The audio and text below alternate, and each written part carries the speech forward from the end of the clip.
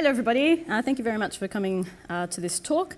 Um, so, uh, I get to talk about something which I'm both very passionate about and I have the, the wonderful pleasure of doing for my work time as well. So, I'm kind of working, um, uh, so I currently work for the uh, Australian federal government, and one of my, the projects I'm in charge of is data.gov.au, which is very cool. So, I've spent the last 12 months very specifically learning a lot about this space and what works and what doesn't work. And so, I'm going to take you on a bit of a journey of what we've been doing, but at the same time, I'm not here in an official capacity. I'm here just as a geek who has um, done some cool stuff that wants to share it with you. So, no, none of this is representing the federal government or the Department of Finance or indeed any other entity that you want to put me to. so, um, for today, I am just Pia. So, the first thing that's worth noting, I, I did a similar thing for um, the talk I did in the mini-conf most of my slides don't have lots and lots of words, but some of them do, just so that it's an easy reference for you later on. So don't worry about taking notes or anything because I've tried to put references and links in here that will be useful to you. But it's worth noting, how many people here have read the new federal government's e-government and digital economy policy? So yes, there's two of us. Um, the reason that that's important thing to bring up first up is because we have a new government, obviously, as of September. We have, um, and that um, uh, and the policy was released five days before the election called the e-government and digital economy policy. And, um, and so that is now government policy that you know, the public service and um, government are in the process of working out how to, how to implement. And it's, I have to say, as a person who loves tech and who loves trying to do cool stuff with tech in government, it is spectacular. It's really, really cool. It's got some really interesting stuff in it. Um, and when I first read it, I thought, you know, this could be really quite incredible. This policy could potentially set up the next 20 or 30 years of how government deals with IT and, and, its relationship to IT. So it's really quite spectacular. It's worth reading. It's not particularly long, so don't be too uh, freaked out by the fact it has the word policy in it. But um, I pulled out some of the big things that I thought might be of interest to you, particularly from a data perspective. So first of all, it very specifically says that it wants a public consultation for the um, uh, with you know industry, with the general public about what data people want to see. So we've launched a thing, um, the data request site at uh, uh, for people to be able to request data sets. And in only just over a month, I think there's been about uh, 50 data sets requested, 200 votes, 100 people registered. So, you know, it's relatively slow building, but, um, but that's great because it gives us an idea about what to prioritize with going and trying to target opening up of data, which can be a very tricky thing to do. The second thing it does is ask for for a review of the big data strategy. How many people here knew that there is a big data strategy right now? Yeah, exactly. So there's a lot of things going on at the moment, and um, one of my goals for this talk is first of all to tell you a bunch of stuff that might be useful to you, but also, more importantly, to give you ways to find out and keep up to date with information as it's happening, so that if you are interested in this space, you'll be able to, uh, to follow what the, the latest is up to. The third thing it asks for is to seek proposals for public and private partnerships using data to improve services, and I'm looking at funding some of those, so that might be of interest to some of the people in the room.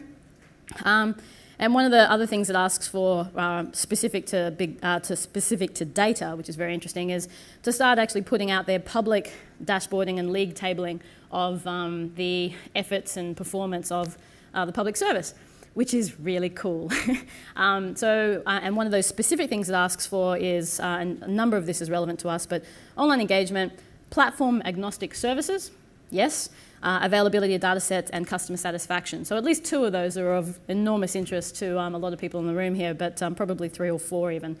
Um, there's a lot of other stuff that's in that policy, but the other one that will be of interest to people here is that government interactions that occur, occur more than 50,000 times um, should be achieved online by 2017. Now, you can imagine even intuitively the enormous amount of infrastructure that needs to go into place to make that happen. So a lot of changes happening in the next little while. There's a lot of need for um, the sort of skills that this community has to bear, has to bring, and, um, and I think it's going to be uh, a very interesting time. So, so the stars are currently aligned for this stuff. But it's worth noting the stars have been aligning for a while. So we had a thing called the Gov 2.0 policy in 2009. How many people here read that? Not many, a couple. Um, that was a, a policy um, that was uh, influenced by a thing from the UK called the Power of Information Task Force. It was all about trying to um, looking at how to make government more responsive, more open, more um, engaging. And, um, and so the Gov 2.0 Task Force report had a few outcomes that have been implemented over the last four years. The Declaration of Open Government that was launched in 2010, just before the election, um, there was a, a, policy that was put in place that said that by default, all federal government, keeping in mind this is all federal government, um, information, um, which naturally extends to data, uh, should be CC BY by default, um, or another open um, license, as it says in the policy, um, by default, unless there's a very specific reason otherwise. Now, of course, how well that's been enforced or policed and all the rest of it is a different question, but the fact that that is the policy standard is, is a great thing, because when I you know, call up a department and say, so, uh, you want to open up some open data, do you? Uh, you? You will, of course, be using the government default recommendation of CC BY. They say, oh, yes, of course. When you pose a question like, what license do you want to use as the starting point, you know, then the lawyers get involved and that takes a really long time. So um, that's a good outcome. Uh, an information commissioner was put in place. DataGov.au was one of the recommendations. So DataGov.au was set up specifically as an outcome of the Gov 2.0 task force report. Um, and there was a whole bunch of social media strategy and policy and advice and stuff that came out of that as well bunch of information about cloud services. Over the last few years, there's been heaps of supporting uh, tech policies and stuff that, and copyright policies that have happened. The other big thing is that over the last few years in particular, and in particular the last 18 months, um, we now have five of the states and territories all have their own data portals um, and their own data strategies, their own open government or open data or both policies in place. You know, so there's a lot happening that's really been sort of a bit of a, a, slow build up from four or five years ago that's really ramped up in the last year or two, which is uh, quite exciting. And there's a lot of alignment now across the territory states and federal government, and indeed a lot of the local governments. There's a lot of local governments that are doing um, fantastic stuff across a number of states um, in, the, in the country, which is kind of cool. So, stars are aligned. Stars have been aligning for a while. Uh, just to give you a, I'm not going to go through all of these, but there's a lot of different pieces of paper that have different aspects of this that are worth looking at. If you're interested, this is just really about a reference, but there obviously on the left is the government's policy that's worth having a look at. But there's a number of policies in this space that um, are related. Of course, there's no single cohesive open data policy for the federal government yet, uh, and um, that might be something useful to do. So um, and here's what's kind of happening around the, around the country. I gave a talk on Monday at the OpenGov mini-conf, so rather than rehashing a, a, lot of that, I'm just going to sort of give you, you know, this has been a bit of a picture and I, I, recommend you go and have a look at the talk or the notes from that talk to get a little bit more about what's happening more broadly in open government.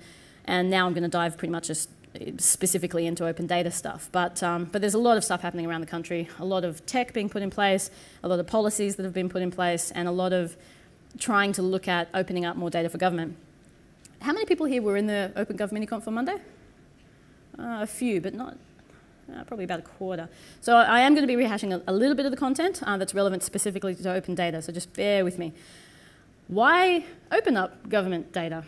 This is actually, it's an important thing to consider because if you walk into a meeting with someone and you just have the, the core assumption that, you know, of course we're going to open up data, and that person doesn't have that same core assumption, then you immediately run into a culture clash that you don't quite understand. I remember a few years ago um, when I was working in a previous job that um, I came across the issue of the Magna Carta. Um, around Australia has, I don't know if any of you have seen it, but Australia has one of the best preserved copies of, the Magna, of one of the original copies of the Magna Carta in Parliament House in Canberra on public display, and it is awesome. And it's a fantastic document, it's worth checking out. Um, but um, what's interesting is they decided to digitize it, to make it available online so people could go and interact with the Magna Carta. And that's all very, very cool. So we put in a request um, from within um, my office uh, when I was working up at Parliament House. We put in a, a request to get a copy of that under Creative Commons license so that we could publish it publicly. So that was an interesting experiment in the culture of, of, of how different people approach this space because we sort of put in the request and they said, oh, you can have it under Crown Copyright. We said, no, we want it under Creative Commons. Or you can have a low resolution version under Creative Commons. No, we want a high resolution version under Creative Commons. Why do you want that? And went back and forth. And we, we I mean, at one point I was thinking about just hacking the system entirely and, and just filling out the form and just, you know, but, but making it misleading. I was thinking about all kinds of ways I could just make it happen. But I thought, no, let's have the conversation and figure out what on earth is actually going on here. What is the actual blocker to this happening. So I had a very frank and fearless conversation with the lady who was the, um, the, the um, custodian of this data set, of this, of this cultural asset. And we got into this conversation, it was quite, um, quite rigorous. And I said at one point, because uh, she's talking about what are you going to do with it, and I said, well, we're just going to make it freely available, um, but, but we make postcards with that, so what? Um, but, um, and we got to this point, and, and I realized that a lot of the arguments she was making about the economics were rationalizations. They were they were rationalizations, but they weren't the core reasons. So I started potting and poking and like, like I do. And finally, finally we got to this moment where I said, um, but you know, it's, it, it's arguably rather out of copyright. and, um, you know, and, um, and I said, and it, and it should be freely available. It's the Magna Carta. And she said, yes, it's the Magna Carta. And I was like, oh, I think I get it. I think I get it. I think because it's so important, it should be available to everyone. She thinks because it's so important, it needs to be protected from everyone. This is the basic difference of perspective. So nowadays, one of the things, so I mean, and I need to be aware as a person trying to do this work within government that, um, that the perspective I come from is very much shaped from this community, from our community, and from a series of perspectives um, that, um, that not everyone necessarily shares. So once I started talking to her, and, and generally you'll see that this is, um, if you're interested in this space, that this is one of the things that's really proliferated throughout the cultural sector, particularly in Australia at this point in time, and certainly around the world as well. The argument of, but people should have access to it, is a scary one. The argument of, if you make it publicly available, it will become the authoritative source, right? Rather than someone's iPhone snapshot of it taken, you know, in a dodgy light last week being the authoritative source because no one can get a good copy of it if you, if you are the authoritative source, then that is better for the um, asset itself. It's better for you. It helps show it off in a good light, which gets more people coming to visit it, and there's a lot of studies that have proven that. And, um, and that argument of the, being the authoritative source is actually one of the most compelling that I found for a lot of people, whether it's data, whether it's cultural assets, whether it's a lot of other things. And that's, that's an interesting lesson that that Magna Carta experience showed me just for the record, the Magna Carta has not yet been liberated, and I'll get back to that one shortly. So, um, so why open up government data? There's a few arguments that have worked, um, but fundamentally, around the world, different agendas in this space tend to come around three core things.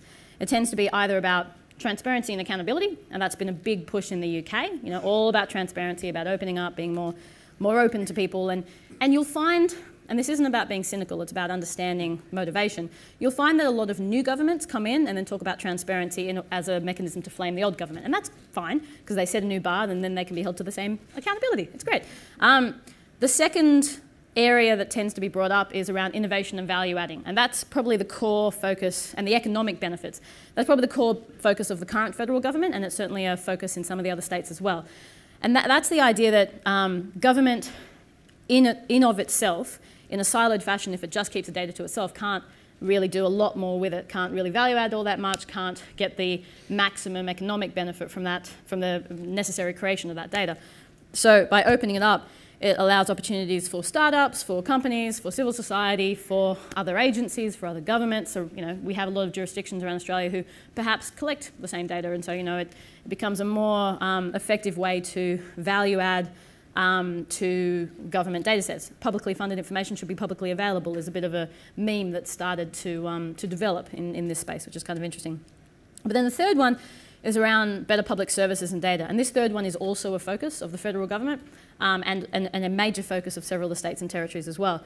This is the idea that um, rather than 10 departments you know, collecting and managing the same, effectively the same data set, collect it once, which means you get more consistency of information, high quality data, more efficiency across the board, all that kind of stuff.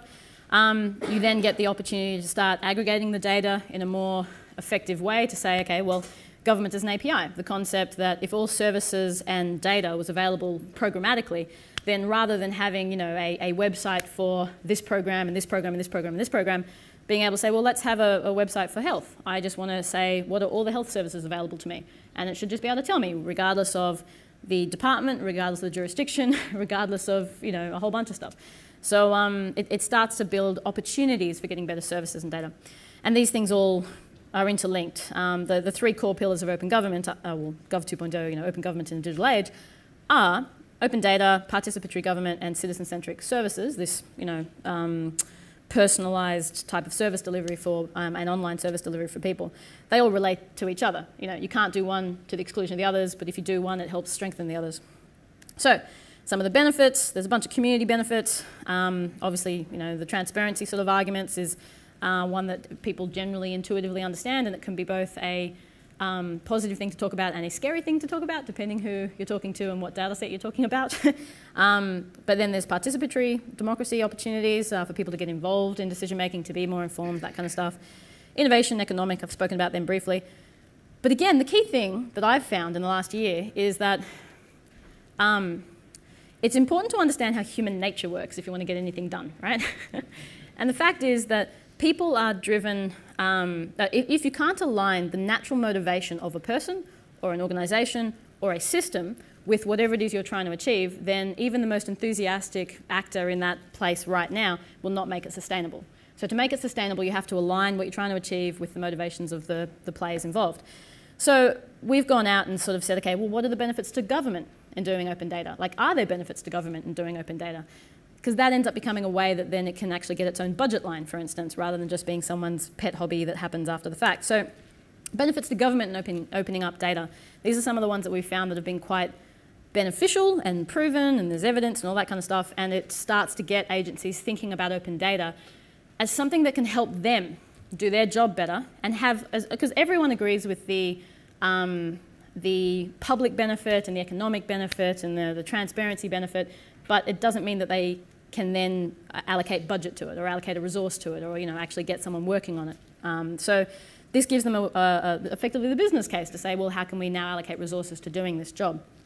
So um, it's more efficient to share data. I've sort of spoken about that briefly. Um, the automated publishing argument, though, makes a lot of sense. So a lot of departments have stuff that they must report on by law right now, and so you know there's a person that's responsible for getting the data set, cleaning it, checking it, putting, probably converting it to a PDF, um, and then putting it online. Um, so if we can say to them, well, look, first of all, the way that you can then reuse that data, let alone other departments, is very limited because you're putting it out as a PDF, and here's why that's a bad idea. And by the way, the argument that if it's a PDF, it's more secure is completely bogus, and here's a screen scraped version of the budget, and that's why it's a bad thing. So um, once you get past that argument, um, then you can start saying, what if we help you with some tools that can pull the data out from the source within your organization you can then verify it for sure, easily enough, but then it pushes it upstream um, to you know, DataGov.au or some other publishing mechanism automatically. So we've just saved you two hours a month, or we've saved you an hour a day, or we've saved you four hours a year. We've saved you some time of some measure. And if we can do that for 100 data sets in your organization, you've now got an efficiency you can report and you can allocate those resources to more high value stuff, right? So it's all about resourcing and it's all about the fact that the public service is under a lot of pressure to, um, uh, to be more efficient and effective and, so, and to demonstrate efficiency. So this gives them something they can report. Good for everybody. Um, improves government operations. Obviously, you get better opportunities for collaboration when people have access to the data. One, I had one department um, say, uh, and I won't name the department, but they said, um, oh, we can't possibly open up our data because we've got 29 definitions of this particular term, and uh, internally, just in our one organisation, and, um, and if we put that out there, then, you know, first of all, people might, might misunderstand it, but second of all, um, people will see the errors in our data. And I sort of said, well, aren't you somewhat concerned that you're currently making decisions based on data that you don't think is good enough for other people to see? oh, you know, there's, there's, this, there's this misalignment of um, the risk of doing something above and beyond what we're doing, but we're currently doing what we're doing, and so that's okay. So, there's the, so this is not just drawing questions about opening up data, but it's drawing questions about the current quality and, and management and control of data, which is, um, which is important. And so it's actually creating new opportunities to do that stuff better, which is cool data quality, opportunities for evidence-based and iterative policy. Goodness, how crazy would that be? Um, and um, it's creating that opportunity to say, well, what, uh, how can we measure stuff better? How can we get better statistics, better data, that kind of stuff? And then innovation. I mean, a lot of people think that government can't possibly innovate, but um, it, it is actually very innovative, particularly when it's under a lot of pressure. Um, and this actually creates opportunities to internally be able to reuse data across different departments in, in you know, new and useful ways, which is kind of cool. Um, oh, and then there's the opportunity, which is a conversation I don't usually have with departments up front because it scares the crap out of them, which is, well, what if we you know, took input from the public on your data set? You know, let's, let's choose something fairly easy, okay? Your barbecue um, location data. Uh, why wouldn't we make it so that people could upload a new GPS coordinate um, and then it's publicly available as an unverified data point. And once you verify it, it's then marked as verified. And so there's always a differentiation between what's official, you know, authoritative source versus what other people have contributed. But once it's verified, you know, you've got a better quality data set. Our, um, so the Department of Finance's data set on the last 14 years worth of contract data, so every contract over the value of $10,000 is publicly available today, um, and, um, and that data set had, oh, what was it? One of the, um, the teams from GovHack last year um, took that data set, did some really cool stuff with it, and then came back to the Department of Finance formally and said, so we've got 290 um, representations of the Department of Defense, different representations. So, you know, with a C or a, an S, or DOD, or Defense, or D, Defense with different capitalization, or 290 different spellings of the name of the Department of Defense. Wow, that's horrendous. So, that's kind of cool. So they've given that data back to us, cleaned up and made beautiful, and I'm in the process of trying to get it verified now, and then we can release it as a high quality data set that then helps everybody. So that's really, really cool. Um, so, and then, you know, and then we can say to departments, well, see, we've done it, so why can't you do it too? So there's, there's a lot of people throughout government trying to show a little bit of leadership and stuff, but it's hard. Sorry? This person's saying they can't believe it. It's free text. It's great, yeah, it's free text, exactly. So that's what's happening is that this is the, the contract data that they have to report back, and it's not as automated as it could be, shall we say. So, I mean, if it was like, you know, which department are you from, you have these options, you know, unless they specifically wanted to misreport to pretend to be from, I don't know, Museum of Democracy, which could be fun. Yeah, we've got these tanks. you know, I'm sure the Museum of Democracy needs some tanks. Anyway, so um, I'm not saying that's. Don't, yeah, I don't think that would be an option. All right, in the form, shall we say. So, um, I'll give you a bit of background on DataGov.au and in terms of what that journey um, has been like. Um, so, my previous life was working in industry for a lot of years. Um, then I got tapped on the shoulder and offered a job to work as an IT advisor for a uh, policy advisor for a politician. And even though I'm deeply apolitical, I, I, you know, I love democracy. I don't particularly like politics. Um, I, um, I saw it as a really great opportunity to see how the system works. I mean, as someone who, from the outside, from this community, has um, been lobbying about open source, about the US Free Trade Agreement, about a number of things for many years, I saw it as a great opportunity to see how things work. So from within that office, um, I learned a lot about the legislative and executive arms of government. And then I wanted to go and work in the administrative arm of government. I wanted to work on tech. I wanted to work on open government, open data if I could. But I wanted, more importantly than anything, to see how the whole of government works. Like any good sysadmin, I'm trying to figure out where the config files are and start tweaking them. Um, so um, I was very, very lucky to be able to find a job at Department of Finance, which is more appropriately called the Department of Whole of Government um, and, and work within the tech team there to who is now the Australian government CTO. It's kind of the perfect job for like a geek like me.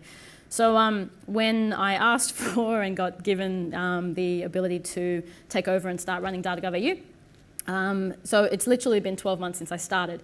So in 12 months, we've relaunched DataGov.au on uh, an open source platform, a proper data publishing platform, um, uh, you know, that actually does, previously it was a WordPress with an Amazon um, data store, basically. So it was basically just a WordPress with a lot of files linked that you could download. And that was fine, because in 2009, there wasn't really a lot of options. Like that wasn't a terrible um, idea. But of course, by 2013, that was a little bit out of date, and there was a lot of options on the market prior to doing this, um, I was working in the ACT government and I actually launched data.act.gov.au, which is on Socrata, which is actually a proprietary open data platform. And um, so the experience now of dealing with both of those platforms and what they both mean was, was very interesting. And, um, and I've got a reasonable idea about you know, doing data publishing for this kind of data you know, reasonably well. So um, so we've launched on the new platform. Uh, we've done a lot of work to clean up the data. And this was a good lesson as well in um, some of the fickleness of, um, of trying to be transparent. As many of you will know, or if you don't know, you will be rapidly picking up, I tend to try to do things in a fairly open way and fairly transparent way. And, um, and very much about collaboration and trying to open up um, what I do uh, to public scrutiny so that I can because I know that way that if I get it wrong, I will get my ass thoroughly kicked by you guys, um, which is good. It's very, very important to have those checks and balances. So with um, DataGov.au, when I went to start um, and my team started cleaning it up and looking at all the data that was on it, there was 1,200 data sets on it, right? 1,200 back before we relaunched. A third of those data sets were links to files, largely files, or pages that didn't exist anymore. Woo! A third of those data sets belonged, was data that belonged to states and territories that had since launched their own data platforms and wanted to host their data on their platforms. Fantastic, that's great, that's a net win. I'm not parochial about trying to, you know, just get numbers for the sake of numbers. That's a very, um, I don't know if you, un- if you know about the difference between the UK and US approach, but the US approach has unfortunately, because they were so focused on getting numbers, uh, in, in some cases, they said um, they took, in one particular case, one data set, split it into like 300,000 files, right, and then started uploading them. And so it's like, oh, well, we've got 300,000 data sets. Well, yeah, but how useful are they? I don't know. Um, so we're trying to take the UK model, which is less data sets, but more high value stuff and, and that kind of stuff. So um, I've had a few cases already where it's been like, well, we could add these as 1,000 data sets, or we could add them as 10 data sets with 100 files each, which is actually more useful to the person. So we've tried to take an approach which says, um, making it high value from a user's perspective, from a developer's perspective, from the sort of people who want to reuse the data's perspective. So we've relaunched it on CKAN. How many people here have used CKAN? A couple. All right. So basically, what CKAN is. Um, so there's lots of different types of data out there and specialist data publishing that already exists. Spatial data is an area that is well understood, the standards are well established, the technologies are well established, the skills are well established, and, um, and even though you get into arguments about what should be open freely or what should be not or what should be sold, that's a different argument. The technologies themselves are reasonably well established and you can find a lot of data services in that space that are, are well understood. However, um, DataGov.au, so DataGov.au is not trying to be the be-all to end-all and the place to publish all kinds of specialist data. Where data services already exist, like some of the spatial data sets and, and science data sets out there, it will provide links to those data sets, but um, it's filling the niche for hosting data that, um, uh, and to make it more accessible that doesn't fit into that category. So a lot of the administrative data. So a lot of the data we deal with, there is no single standard. There is no single um, data dictionary. There is no um, well-established way that it's developed. There is no, so I mean, often enough the source file that we're dealing with is some random XLS that's or XLSX even worse, that's sitting on someone's hard drive that's not even backed up locally within the organization. Um, we're not, we're dealing with very unstructured, random sorts of data, and that, that's cool because you know it's still useful. I mean, some of it, you know, it might be crime statistics, it might be um, a list of all the, um, um, well, one of my favourite ones was a, um, a lot of the boarding records of um, convicts from First Fleet. You know, a, some of this data is, is historical, some of it's um, current, but it's, it, there's certainly no consistency to it. So we're trying to create a place which, so what CKAN does, which is clever, provides a, a way to link to data services in a useful way, provides a way to host unstructured data, and when you upload the unstructured data, whether it's a CS, so long as it's clean data, and I'll get to that, but a CSV or an XLS, when you upload it, it's kind of clever, but kind of stupid. It's, it's simple in the Unix way of doing things, which is kind of cool, where it says, okay, what's the basic, you know, number of things this way, number of things this way, and then it generates um, a JSON API for every data set that, um, that basically just reflects the structure of that data as it was uploaded. So it doesn't try to be too clever, but at the same time, it creates that kind of consistency of um, ease of access to all the data sets that go up, which is kind of easy and kind of cool. At the same time, the way it works is that there is a single API that gives you all the search results, and then you can start to tweak with the API to give you, you know, all the results from a particular organization, or all the results from a particular category, or all the results from, a, from any of the metadata um, tags that you choose to build into the system. Um, so we cleaned up the data, found that basically two-thirds of our data was useless, uh, leaving us with about 400 data sets, and then we had a few new ones that could be added. Started writing to all those organizations and saying, who's your person? Are they up to date? Uh, why is your data two years old? Let's start working on this. And we've done a lot of work with getting a bunch of departments now back to starting to do regular publishing. And I'm glad to say that we're, we're now back up to, oh, actually, I'll come back to that in a second. So it creates API access to unstructured data. It links through to existing data sets. We now have a policy which isn't the usual case around the world, but our policy is we will not link to files anymore. And the reason for that is because URLs change all the time. Uh, file, if, if, they just want to link to, a, if they want to host a file on DataGov.au, they can upload it to DataGov.au, and that way at least we know that it's there. Um, and we want them to be responsible for that as well. Uh, what else does it do? So it does some basic data visualization very, very basic data visualization. So it gives you like a basic graphing way to inter interact with the data and basic maps that so you can interact with the data. But we're not really focused on that yet. We're mostly focused on trying to get quality publishing. You can't do any analysis or, or data viz or any of that cool stuff um, or any developer applications or anything until you get quality data publishing. So right now and for um, you know the next little while, we're really focused on trying to get the, the data publishing as high quality as possible. Um, part of that is assisting agencies with documentation, with automation tools, with data transformation tools, and I'll come to some of those in a second, some of the examples. So in terms of the roadmap, roadmap publishing was pretty much second half of last year. We launched, I think, uh, July-ish, um, and um, and basically was in beta for the first couple of months, which was fine. And, um, and yeah, it's, it's ticking along quite nicely. I think we're up to 660 odd data sets, and I'll come to the rest of the statistics in a little while. So this year is basically about improving the front end tools a little bit, improving some more of the publishing and automation tools, um, helping skill up and educate agencies a lot more. And um, you'll notice that the earlier policies that the new government has set are very helpful for that. When I write to a department and say, hi, so uh, you have an account, but the, the email you gave us is bouncing. Um, you've got 10 data sets and none of them have been updated in the last two years. Um, and by the way, here's the new government's policy and we're going to start doing league tabling and you may want to get on top of that before we put that in place. Hi! um, so it's kind of exciting because we now actually have for the first time in federal government in a, well, so, well, for the first time in a long time, um, some leadership at that level, which is very helpful for getting things done. Um, so we're going to be doing a lot of value realization work and the reporting and league tabling and, um, and again, continuing to help agencies with their publishing. And then starting to look at ways to um, improve um, the ability for agencies to crowdsource, uh, well, crowdsource, yeah, some of the data um, updatedness. Like, and it's not always going to be appropriate to do that. But in some cases, it will be appropriate to do that. So if we can make it so agencies can, at their choice, choose to take public input at a cellular level and then verify that and then have that publicly available, that'll be really cool. So it's going to be looking at a bunch of that kind of stuff.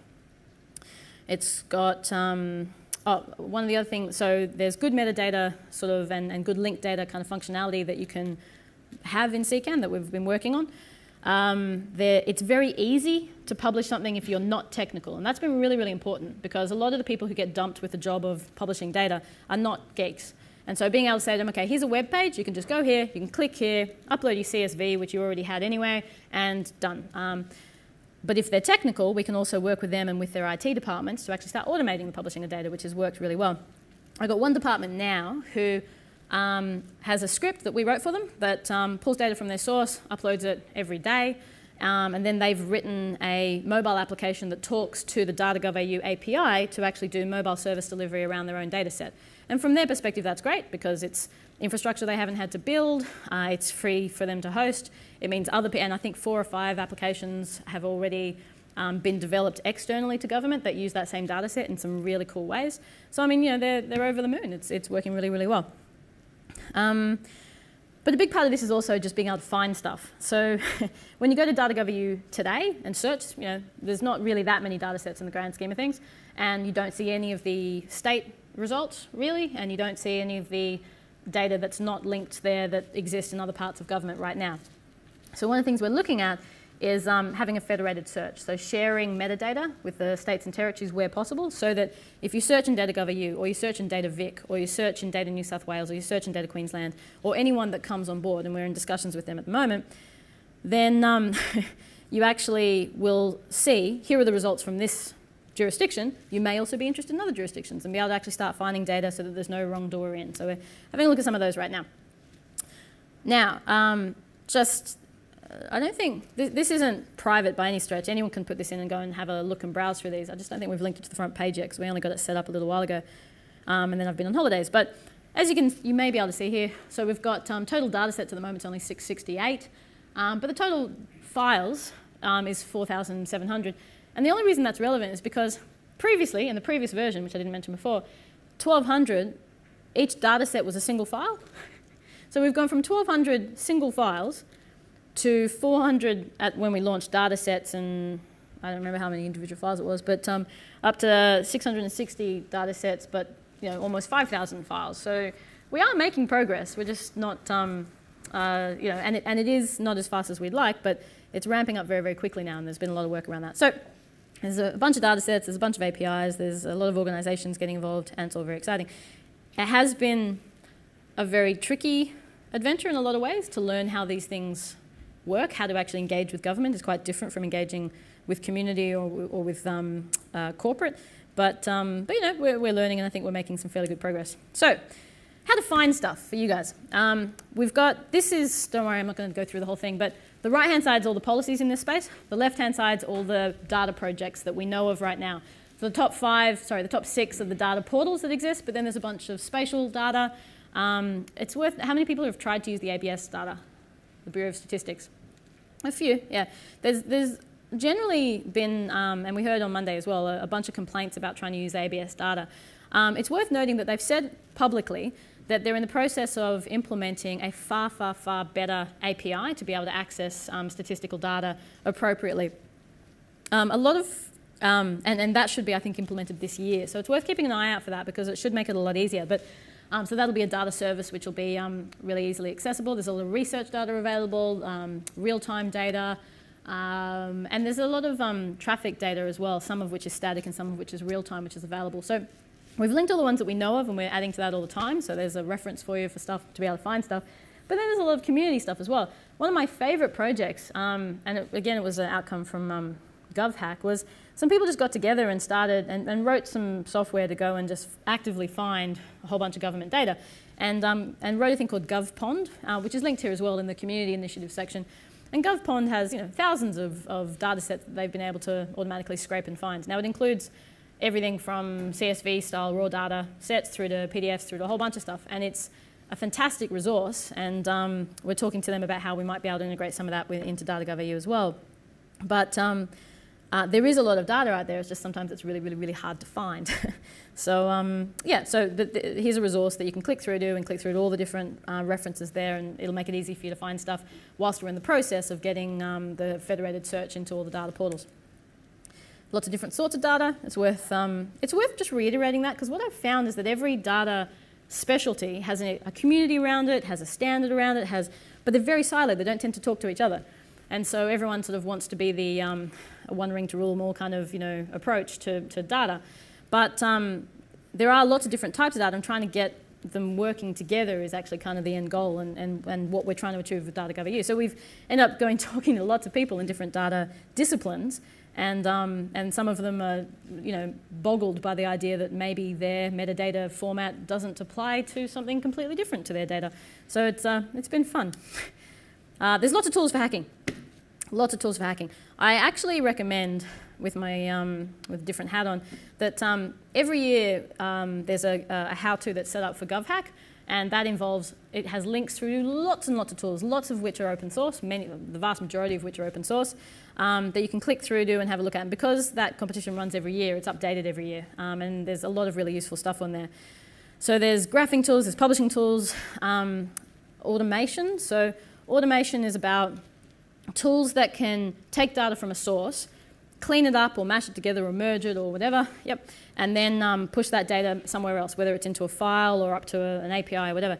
Kettle is a fantastic open source tool that you can say, okay, here's my Oracle database, here's my CSV file, here's my MySQL database, here's whatever. I want to pull these tables, these aspects of these tables. Um, I want to say fem equals female equals woman equals, you know, in, in, these three data sets, so that now I'm creating a single data set which has consistent language, consistent approach, and push that up to DataGov.au, all in one fell swoop. Yay! So um, it's, it's a really cool tool to have a look at. A lot of the data visualization tools are not open source, but there are some really good ones, and I didn't actually put uh, D3 on it, but there's a whole bunch of them linked on the GovHack website. Fantastic analysis software out there, and it's worth noting, how many people have used Spook software? Or two. Um, so the reason I bring that up is because we often look at some of the software tools out there that are used for things that maybe we, we don't like.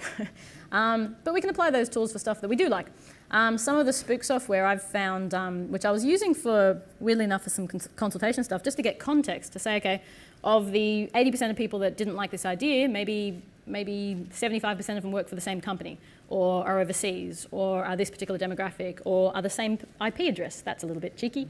Um, so, you know, it, it's useful sometimes to get some context around these things. And so some of the Spook software is actually useful. There's a lot of API development tools out there and, and approaches and documentation and um, a lot of application development tools and stuff as well. So there's a lot linked from there. And I kind of wanted to give you a very broad stroke here, but um, I can talk about stuff um, after the talk. But um, go to govhack um, slash how to, and that'll give you a lot of uh, click throughs that you can have a play with.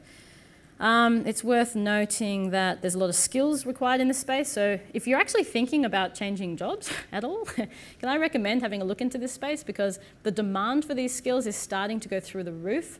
Uh, there is a lot of um, need for it, and there's a lot of uh, companies that are starting to spin up. At a time when one of the major media companies in this country was firing hundreds of journalists, they were hiring data journalists, which was kind of interesting. So, I mean, there's a lot of demand for these skills um, in a lot of different areas, particularly in government. There's certainly a lot of challenges. Um, both from a legal perspective, culture, systems, you know, um, the biggest problem is the low tolerance for mistakes. When we make, you know, if I make a mistake with data.gov.au, people just jump all over it, and of course it's a nefarious plot from the government to take over everyone. But usually it's just because something's stuffed up, and that's, you know, if, if you don't take risks, how are you going to try something new? Um, but, um, but that's okay. So, you know, you've got to try things, and, and we're trying a lot of new things, and it's really, generally speaking, going reasonably well, I think. Um, but the big challenge, there's a lot of challenges, but the biggest challenge is that a lot of people who are involved in this space in government get really excited about big data and what we can do and how we can save the world and how it's the new cloud. Um, sorry, I get very annoyed about these things. And I keep having to remind people, look, that's great, but you can't do big data without data. so let's get focused on publishing. Um, so yeah, we're, we're, we're, fighting a bit of an uphill battle um, in some respects, but we're getting the message through and people are starting to understand that they actually need to publish if they're going to get any of the benefits that they're all starting to talk about. There's a lot of ways to approach privacy and confidentiality. And one of the things I wanted to just suggest um, to keep an eye on is the idea that not all raw data should be available. If the census raw data was available, you could look up your neighbour, and that would be bad. It's too easy to re-identify people given enough um, data points, right? Um, there was a study in the States that showed with postcode, um, date of birth, and gender, you could re-identify about 87% of people. And that actually, that study is relevant to here because the postcodes there and the postcodes here um, are reasonably similar in terms of the amount of people in each, uh, similar enough to be useful. So, um, so for instance, publishing date of birth, uh, sorry, uh, year of birth rather than date of birth massively changes that, right? So there's, there's a lot of ways to start to publish data usefully, but then there's also automated ways. So the ABS's approach is that the data that's given back to you is anonymized on the fly by the API software itself, which responds to the request that you make. So it's actually very, very clever. Sorry? Oh. Right. So there's a lot of ways to do this kind of stuff, um, and um, a lot of existing precedents in this area. And I guess the greatest opportunity is us, right? the hacker culture in Australia is really awesome, and there's a lot of people starting to get involved. Agencies and departments have been freaked out to see what a couple of people in 48 hours can develop. And it's not to say that they've developed a fully sustainable implemented solution that can be done forever. Um, it, but it is to say that what they've done in two days is usually better than what you know a large multinational corporate could have done in six months. So that's exciting. We are, in a lot of ways, leading the charge in this because we're changing people's perspective about innovation, what innovation really means, um, and people's perspective about what value for money means, and people's perspective about the value of opening up and being more collaborative as government and more open and transparent. GovHack, of course, one of my little pet projects, um, is um, running again this year in July, and I highly recommend you get involved. GovHack Perth uh, last year uh, won a, a, huge amount of prizes um, um, for the size that they were and such, and they were very proud of it. And, and, there's a big startup sector here in Perth, but around the country we had 1,000 developers in eight cities. We're hoping to have about maybe 2,000 uh, this year, but um, it's, you know, it's, a, it's fun, it's interesting, we get to show off our skills, we get to show not just the government sector, but the media and the, the broader community just how awesome we really are. Um, and so finally, the pieces are in place. There's policy in place, there's tech in place, there's tools out there that are freely available, there's data that's already available, and you can go and request more data, and, and, um, and the data request side is publicly available, and we go and chase all of those things up. Um, so basically, everything's in place, so have a play, investigate, show off, collaborate, have fun, and I'm going to repeat the same quote I did on Monday, which is, you know, you've got to end with a bit of rage against the machine, I always believe. What better place than here, what better time than now? Um, any questions? Thank you. Yes. Um, how do you advocate approaching a government department where you're currently using wget to scrape their publicly available database? Yep. Because if you're not careful, they'll end up turning off their publicly available database in the fear that you're scraping their database. Sure. I completely understand. um, and um, what I would suggest you do is make a formal request for the data through the data request site and don't tell them you're scraping it. I didn't hear it. We're recorded. Hi, mum. Um, so the hi, boss, um, who is who probably is watching. Um, the, um, but um, so yeah, so let's keep that totally hypothetical. Um, but make make a formal request for the data request site because the beautiful thing about the data request side is we're running it completely publicly. So every request, uh, we will respond. So uh, my team will respond to the data request publicly and say um, once it gets more than five votes, which you know if it's a useful data set, it should get more than five votes. Um, uh, we go to the department and we say the relevant department and we say, look, this is a request we've made. By the way, here's the new government's policy. Your minister's already agreed to this, rah, rah, rah, or whatever is appropriate to them. Um, and if they say no, then we say that's cool. You just need to give us the reason to put up on the website. Um, so we're going to run that process, that request process, as publicly as possible. So make the request there, and that will help um, us to get them to do it, you know, in a, in a sustainable way, shall we say. And, um, and if you're doing, if anyone's hypothetically doing things that you know they shouldn't be doing, well, that, I just don't want to know really. so, hello. Sorry, you have to call that. We're over time. Okay, thank you very much.